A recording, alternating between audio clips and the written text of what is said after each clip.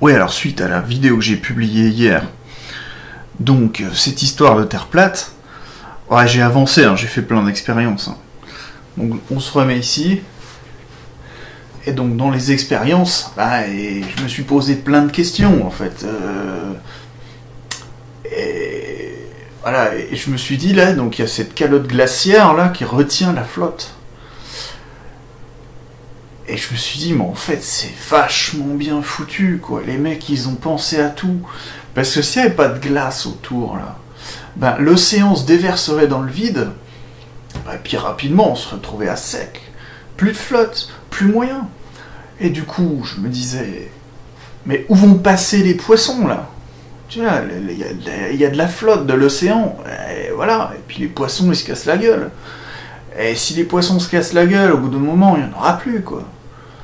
Alors je veux dire là, euh, voilà quoi, on est, on est quoi On est en 2019 là, en avril 2019.